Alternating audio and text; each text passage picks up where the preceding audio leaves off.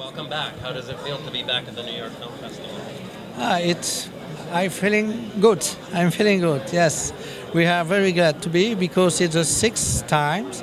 The first time was in 1996 for the promise, and I I keep a good, very good memory for the, uh, of the first time, and now, well, I feel uh, the reception of the movie is very good. Uh, uh, we are happy. So, you're known for casting, you know, unknowns, and this time around you went with one of the biggest stars in the world. What kind of challenges uh, does that present? Uh, it's just sometimes it's necessary to change, and uh, we we had the desire to work with a with a star, and uh, at the same time we had the desire to work with Marion, and Marion is an actress well known. It's nice and she wanted to work with us.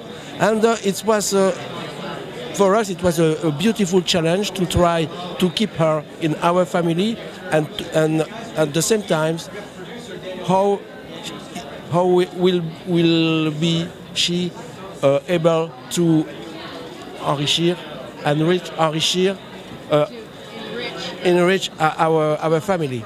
Yeah. Now, she comes with a lot of international stardom, and, and you know, how do you get her to play this very vulnerable and, and, and fragile character? Uh, yes, it was, it was the, the challenge. And uh, with the clothes, with the, the hairs, and it, it's, it seems us uh, that, that Marion is uh, uh, is she she is strong but vulnerable. Vulnerable, you know. Uh, when we she when you she when you see her, you see somebody strong but very weak, weak, very fragile, and uh, it was our challenge because.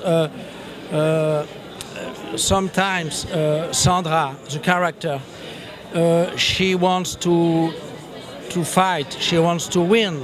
Uh, she wants to. The other are solidaire for her or to her, and sometimes she fears. She is afraid of of the other of herself, and it's.